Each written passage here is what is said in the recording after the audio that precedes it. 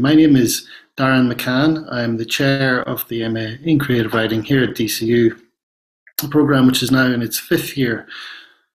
Uh, it's a great pleasure to be able to speak to you, uh, and I want to thank you for your interest in the MA in Creative Writing. Uh, we're in our fifth year now, and it's a program which has really found its feet. We have a burgeoning cohort of alumni who are going on to do lots of interesting things. Um, we're starting to see alumni from our program making their way in the world as writers uh, and in, in many other many other fields as well. So, once again, thank you for your interest in the program. The program spaces in the program are competitive. We uh, set the bar pretty highly, so those who are accepted onto the program are students of a very, very high quality, and you will be in the class with a cohort of people who are um, colleagues that you will learn a great deal from, as well as learning a great deal from the staff. Uh, so I'll just talk a little bit about the program, what it involves, and what uh, why it could be a very interesting and worthwhile endeavor for you. We've designed the course to encourage you to write prodigiously and to read voraciously. So there will be a substantial amount of reading involved in the program. In the program, mostly shorter pieces which uh, which have a direct application to your own work. But the focus is on your writing, the writing that you produce, which we will then respond to, and you will then work through multiple versions of, uh, all of which is uh, essential practice the practice of being a writer is something that we seek to, to really inculcate in our students because this is what writers do.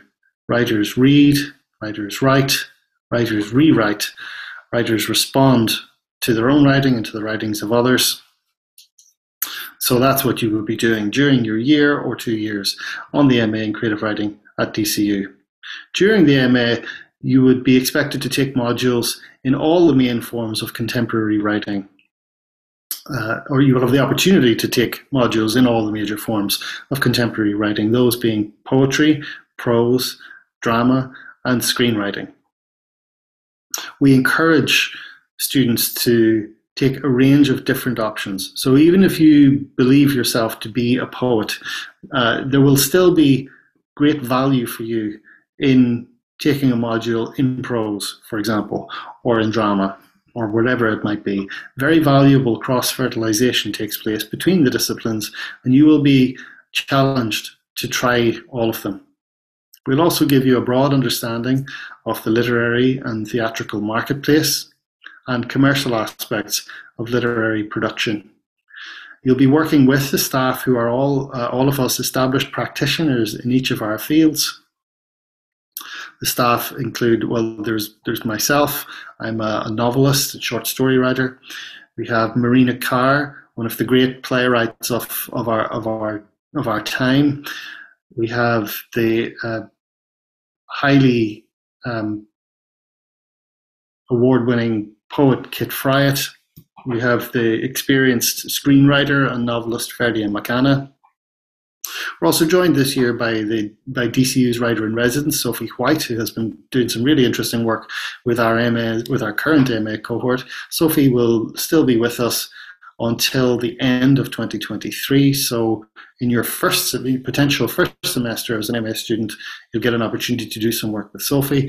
We'll then also have a new writer in residence in 2024 who will be uh, who will be here for the, the second half of, of your first year or your year as a master's student. So, um, yeah, all the staff you'll be working with are experienced and established practitioners as well as teachers of creative writing.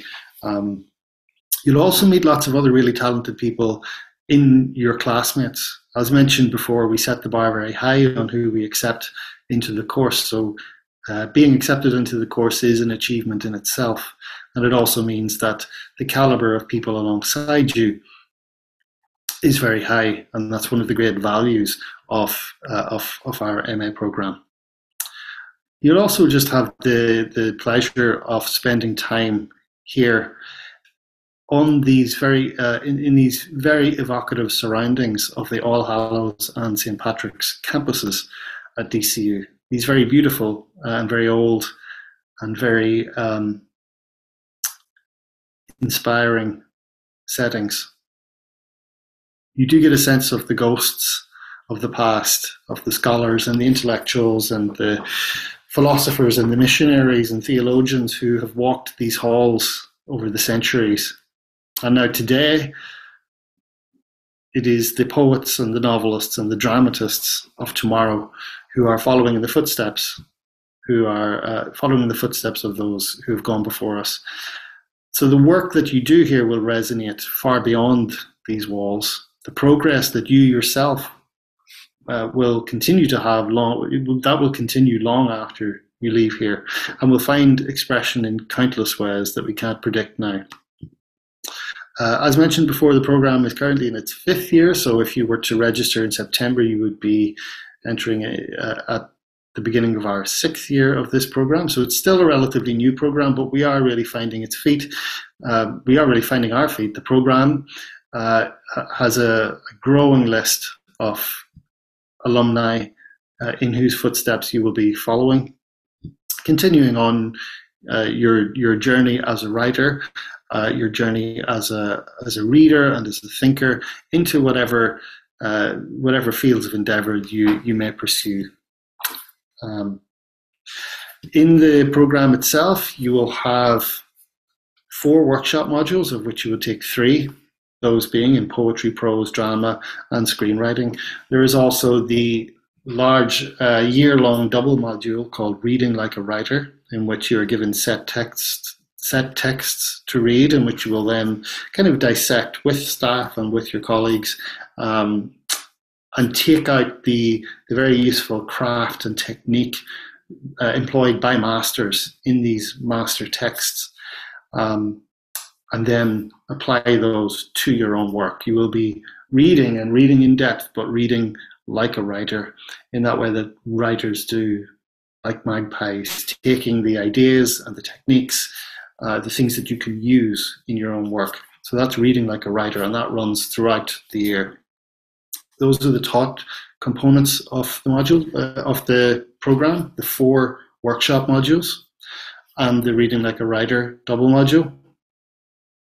And having completed the top components, you would then move on in the summer to your uh, dissertation stroke writing project, which is where you will be assigned, uh, one of the members of staff will be assigned as your supervisor, and then you would work on a major piece of work, which would be up to 20,000 words um, a major piece, the longest piece that you would do during your time, which would be your effectively your master's dissertation, but it would also have the potential to be a calling card for you as a writer as you embark on your writing career, as you go on to look to approach literary agents or publishers or producers, as you enter into the, the literary marketplace.